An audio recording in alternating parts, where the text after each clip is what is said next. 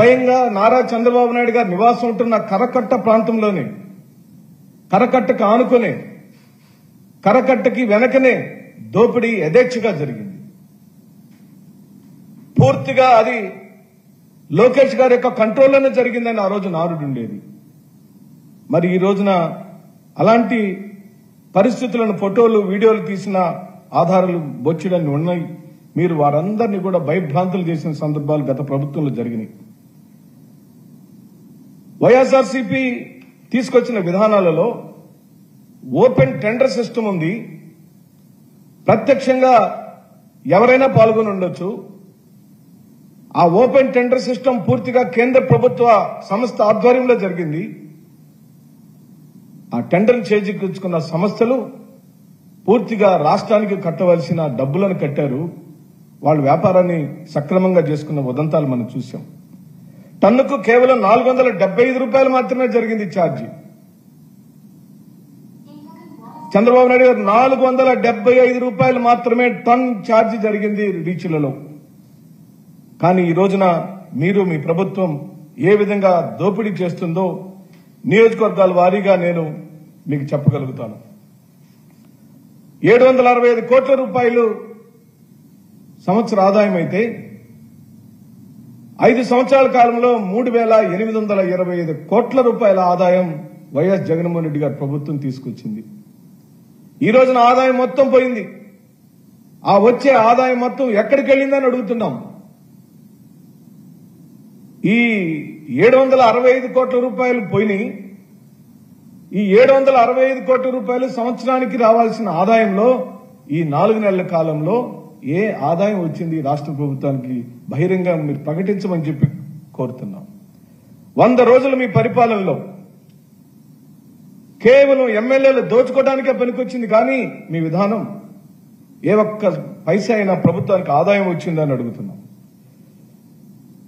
రాష్ట్ర ప్రభుత్వం అనగా ఈ తెలుగుదేశం పార్టీ ప్రభుత్వం అధికారంలోకి వచ్చే రోజుకి వర్షాభావం వల్ల నదులు కాలువలు నీళ్ళతో నిండుంటే ఆ సమయంలో ఇసుకను రీచిల్లో నుంచి తీసుకురావడం కష్టం కాబట్టి ముందు చూపుతో ఆనాటి ప్రభుత్వం ఎనభై లక్షల టన్నుల నిల్వలు ఉంచింది. ఎనభై లక్షల టన్నుల నిల్వల దగ్గరకు వెళ్ళి ఆనాడు నారా చంద్రబాబు నాయుడు గారు మరియు లోకేష్ గారు సెల్ఫీలు దిగారు.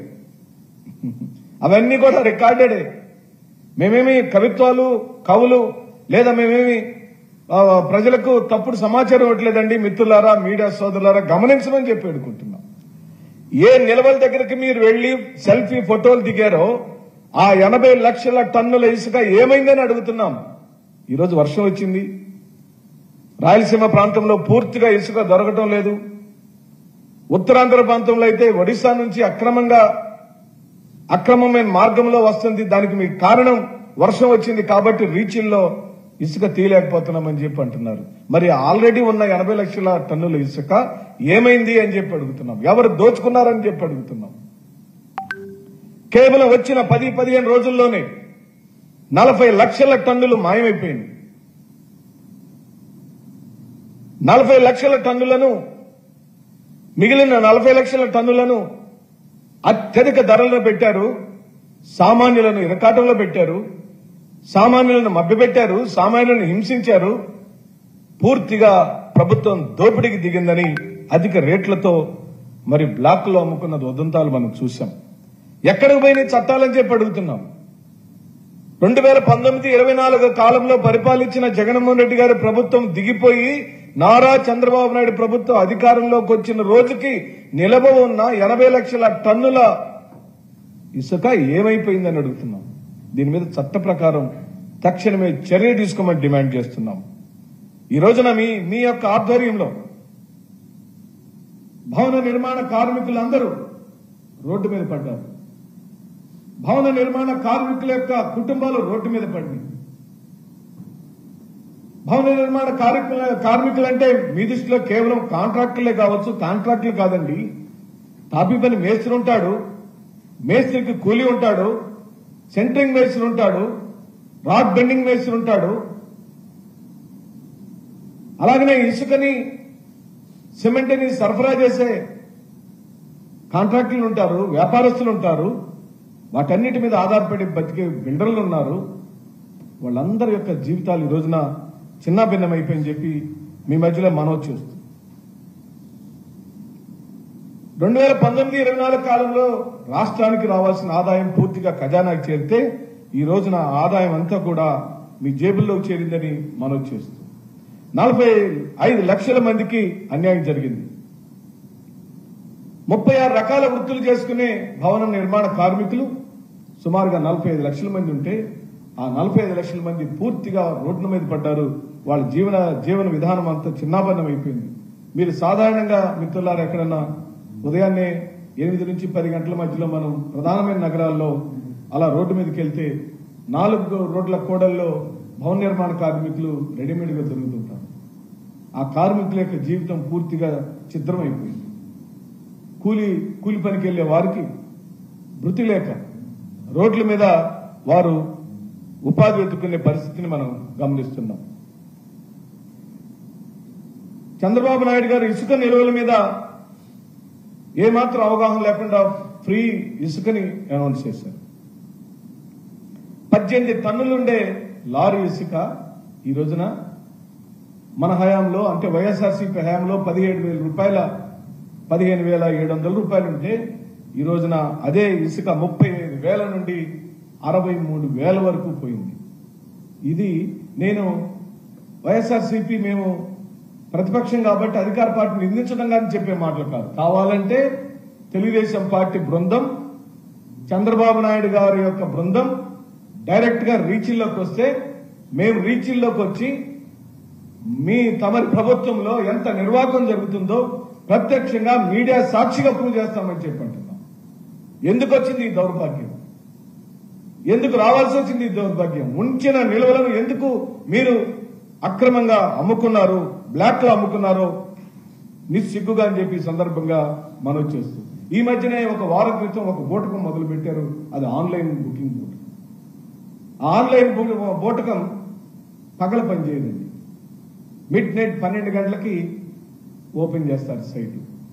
అంటే ఇసుకను బుక్ చేసుకునే అతను నిద్ర మానుకొని మిడ్ నైట్ పన్నెండు గంటల వరకు ఉండి ఆ పోర్టల్లో ఆన్లైన్లో బుక్ చేసుకోవాలి.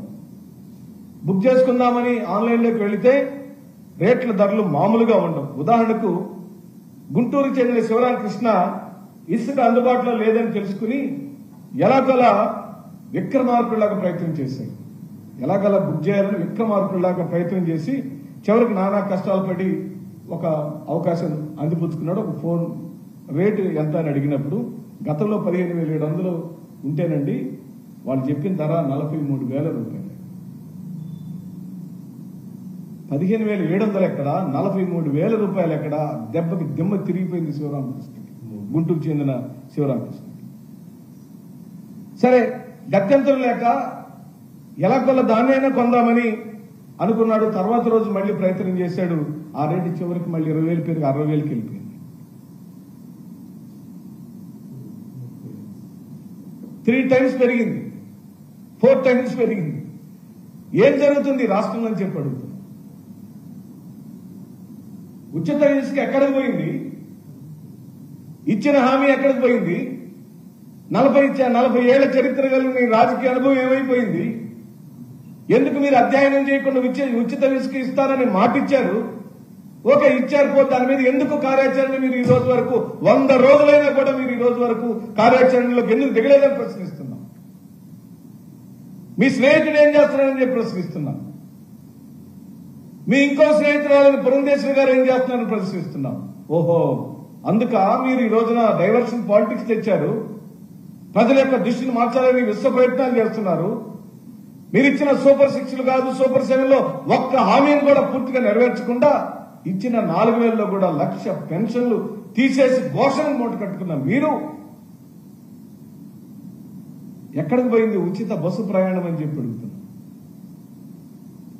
తల్లికి వందనం పేరుతో ఇంట్లో ఉన్న ప్రతి బిడ్డకు మీరు ఇస్తానన్న పదిహేను వేల రూపాయల హామీ ఏమైందని చెప్పి అడుగుతున్నా. సిలిండర్లు ఎక్కడ పోయిందని అడుగుతున్నాం ఫీజు రిమర్స్మెంట్ డబ్బుల వ్యవహారం ఏమైందని అడుగుతున్నాం. ఖరీఫ్ సీజన్లో రైతన్నలకు ఇస్తానన్న ఇరవై వేల రూపాయల డబ్బులు ఎక్కడికి పోయినాయి బాబు గారని అడుగుతున్నాం. ఒక్క ప్రశ్నకు కూడా సమాధానం లేక ఇంకా పైగా నలభై ఐదు వేల కోట్ల రూపాయలు అప్పులు తెచ్చుకున్న మీరు ప్రజలారా ఆంధ్ర రాష్ట్ర ప్రజలారా గమనించమని చెప్పి వేడుకుంటున్నాం